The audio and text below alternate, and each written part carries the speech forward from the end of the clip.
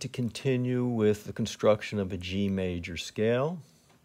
And you ask, well, why G? Why not D, A? Because the sequence of events is going to be as follows. The C scale, the prior scale, its fifth note was G. One, two, three, four, five, and we're going to select that as our next scale. And I don't want to get into it right now, but you'll see uh, the importance of that as we progress. So uh, here's our G clef. It wiggles ar around the G line, and I have G, A, B. Remember, we need consecutive letter names. Why do we need consecutive letter names? Because on paper, it wouldn't look like a scale. That's the reason we're doing consecutive letter names. We want to see line, space, line, space, line, space, line, space. In the case of C, space, line, space, line, space, line. We want that. Uh, if it doesn't look like that, then it, it doesn't look like a scale. And then, uh, as a musician, you're looking at this and you're saying, "What is this thing?" All right. So this is why the uh, notes, the letter names of the notes have to be consecutive. All right, now we're going to quickly put in half step, our little markers. Okay, I'll bring it over here. And uh, so we're assuming that all of these adjacent notes are going to be whole steps except for three and four and seven and eight, which are half steps. So let's see what happens. Um, G to A is a whole step. A to B is a whole step. B to C is a half step. Now, isn't that interesting? Because I've seen that before, and I've seen that in the C scale. Here's G, A, B, C, and here's G, A, B, C. So that is inherited, that little operation there is inherited from the prior scale. Interesting. Okay, so now we're up to C, the whole step. And C to D is a whole step. D to E is a whole step. E to F, well, that's one of our uh, two adjacent white keys that are half steps. So we have a problem here. We would like to have a whole step here. So we have two choices here. If I want a, whole step between E and F, I can flat the E, and then I'd have an E flat to an F. But then that would change the relationship of the D to E, which was a whole step and which was good. So I don't want to do that. I don't, I don't want to mess with this E. So I have to do something to this F. Well, what can we do? It's only a half step now. I have to widen it. So I say it's an F sharp. Okay? And that is our G scale. And I'm going to add one new concept now, and that's the concept of a key signature. So if I'm an improviser and I see this at the beginning of a song that I'm going to improvise on, what that's telling me is that when you improvise or write a song, use all the white keys, but when you come to an F, F no longer exists. It's an F sharp.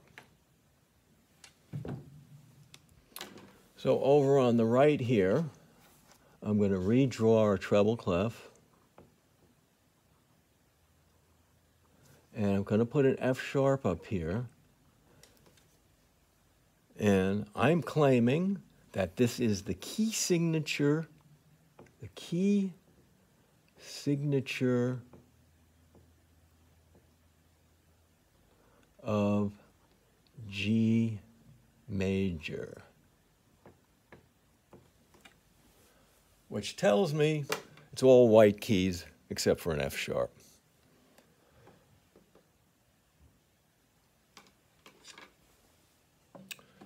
Okay, now we're going to write the G scale in the bass clef, and I need an F clef or bass clef. My two dots tell me that this fourth line is F below middle C, which floats up here. And instead of starting, if this is F, then this fourth space is G, but if I go down, I have F, E, D, C, B, A, G. So the bottom line, G, is where I'm going to begin. And there's G, and A, and B, and C, D, E, F, so this is like a math problem. This is our given, and we have to solve the problem with what's given to us. And the, the question is, is, is this a major scale? And if not, prove that it isn't, and then solve it. You know, how do you make it into a major scale? So first thing we do, half steps between three and four, seven and eight. Okay, and now we check G to A. That's good, that's a whole. A to B is a whole. B to C is our half step. And we saw how this GAB was inherited from the C scale. C, D, E, F, G, A, B, C. The top uh, four notes of, of the C scale. And we continue on, C to D is a whole step. And we know that from C major. D to E, that was in C major also. That's a whole. E to F was in C major, but we need a whole step here. When it was in C major, E to F was the half step, but we need a whole, and we found we have to add an F sharp. So there it is in bass clef. And if I were to write the, if, if I were to uh, compose a piece in G major, I would write my bass clef and then put the F sharp there, indicating that I'm using the G scale to write my piece. And you would see it over here like this.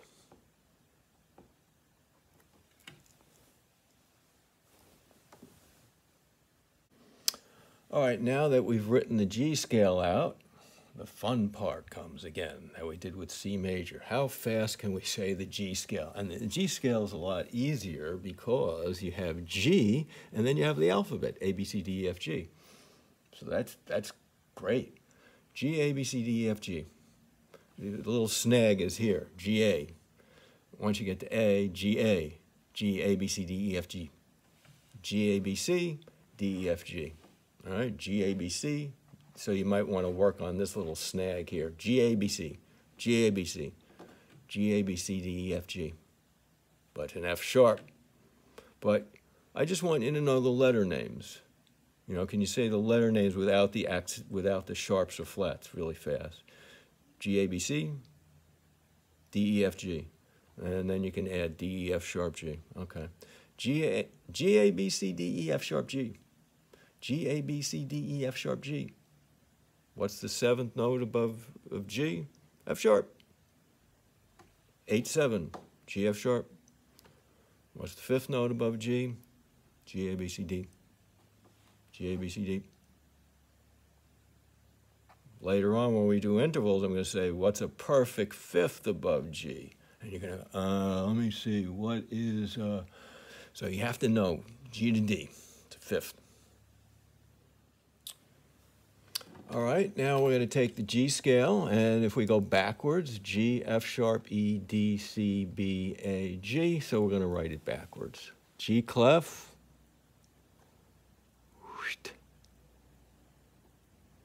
Now, I, I didn't realize what I did up here. Um, if you have an F sharp at the beginning of a piece, this is like in computer programming a global variable. And what it's telling you is whenever an F comes up in the piece, after this, it is to be played as an F sharp.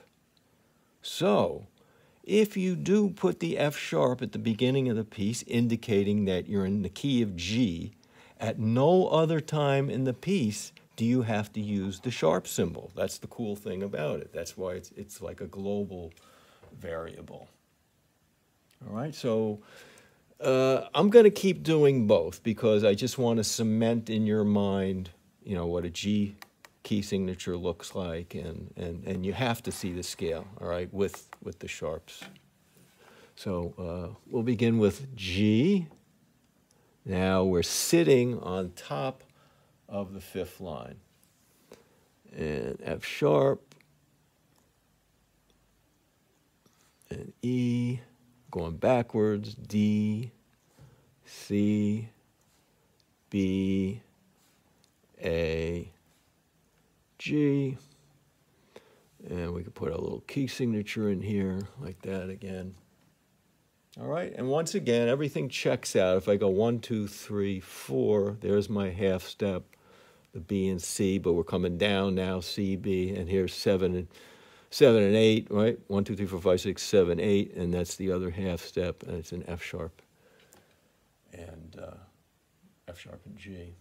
And I just wanted to um, when we, uh, I just want to review up here, when we had the EF to begin with, and we were in a quandary as to what to do, um, adding this F sharp fixed two things because having an EF here was a half step, and then we had a whole step on top, which was an F to a G. So adding, do you understand? So E to F without this sharp was a half step. F sharp to G was a whole step. So by adding this F sharp here, we solved two problems. The E to the F, which was a half step, became a whole step, and the F to the G, which was a whole step, now became a half step. So that's pretty cool.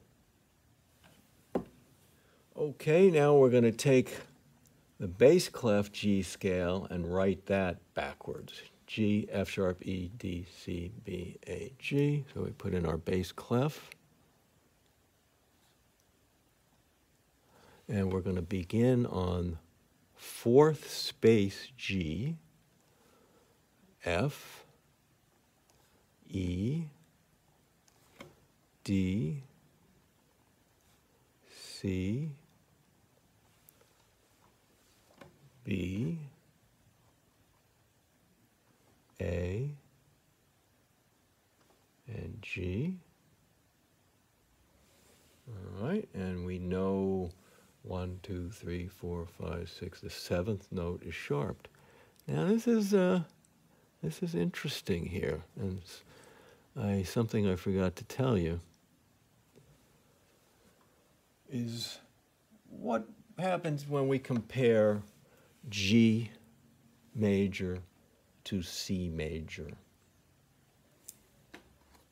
What's the difference? Here's C. C is all white keys. G is all white keys except for the seventh step. So how are they related? Well, that's how they are. G is the exact same set of notes as C major except for one note. And on what step of the scale is that new note? It's on the seventh step. So by definition, this is very interesting now. By beginning a new scale on the fifth note of the previous scale, previous scale was C, one, two, three, four, five, yeah? What happens is that a new scale is fashioned and a sharp appears on the seventh step of that new scale. So this is where it, it becomes very almost mathematical. So now I have kind of a theory developing. So if I take a scale like the C scale, go up to its fifth note, construct a new scale, I will add a, an accidental, meaning a sharp or a flat, on the seventh degree of the scale. So this, the same should hold true for the G scale. If I go up to the fifth note of the G scale, which is a D, and construct a new scale, I should have all of the notes of the G scale, see where this is going? Including that F sharp. And then adding a note, uh, a sharp on the seventh degree. So this becomes fascinating now. Um, the G scale gives us the opportunity to say the entire range of G of A to G backwards because it's right there in the scale now if you go backwards. G, F, E, D, C, B, A. G, F, E, D, C, B, A. G, F, E, D, C, B, A. And you might want to start, if it's difficult, G, F, E, D, G, F, E, D, and then C, B, A, C, B, A, and then combine them. G, F, E, D, C, B, A, and go faster and faster. G, F, E, D, C, B, A. G, F, E, D, C, B, A. Again, you don't, when you're reading music, you don't want to be reading individual notes. You see a scale, and you go G, F, E, D, C, B, A. It's, it's becomes one thing. It's the difference between uh, looking at a word and going, let's see, that's an A and R, and uh, or looking at a sentence, and then you're looking at instead of the whole sentence, you're looking at these individual words. And go, what is that word, and how do I pronounce that? Okay, so get a handle on A, B, C, D, E, F, G, G, F, E, D, C, B, A. Okay, and I just want to remind all of you who are watching, um, write in the names of the notes. G, A, B. Do this, you know, at this beginning stage. Just do it. You want to be able to recognize these notes immediately. You, want, you don't want to go, what is this note here? And the more you write, the more you write notes down and say them out loud to yourself, the quicker you uh, it'll be that you learn them all. Okay, and then do the same going down. One final note, folks, and thanks for hanging in there with me. After two lessons of C and G major, look at what you've learned. You've learned, we've covered the entire treble clef from middle C up to the G above the fifth line. So we, we've covered the, you now know the entire treble clef. If you've really done your homework and you've said the notes and uh, pointed to the notes, go G, A, B, C, D, and backwards, forwards, you now know all of the notes of the treble clef. You also now know all of the notes of the bass clef, plus some others, the, the A, B, and the C. So this is why at this rudimentary stage of learning theory, you really got to do it. You, you really have to uh, tackle it right now. Don't, don't let this go. You know, because when we get to E flat major and A flat major, you can't be, you know, saying, what is that note there? Is that an A or an F? Okay, so um, We'll see you next time. Your assignment for the G major scale lesson is simply to write the treble clef part 10 times, put in the letter names each time, and then make sure you practice saying them after you've written them 10 times, going right up and right up the scale. And take the bass clef, write that out 10 times write in the notes. Say the notes. Then take the treble clef coming down, write that 10 times, write in the individual notes, practice saying G, F, E, D, C, B, A, G, G, F, E, D, C, B, A, G. Okay, take the bass clef, write that out 10 times, write in the notes, say the notes out loud.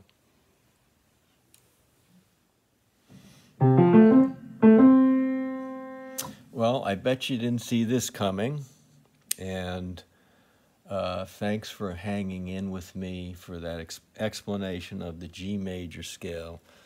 Uh, you're cramming your brains with a lot of new information.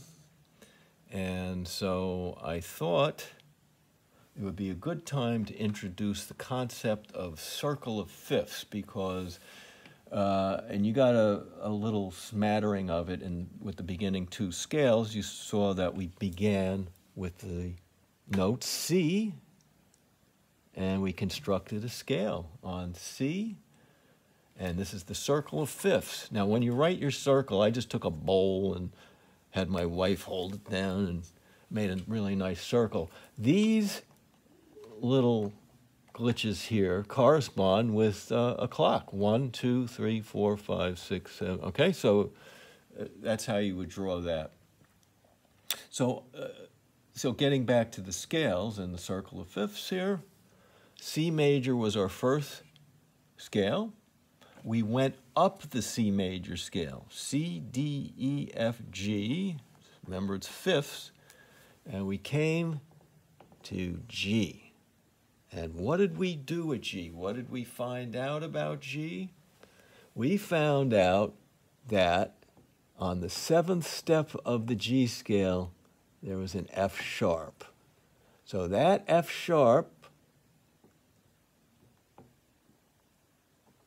represents the seventh step. And then we took that F sharp and we put it at the beginning of the piece, right after the clef, to indicate that this is the key that we're playing in now, G.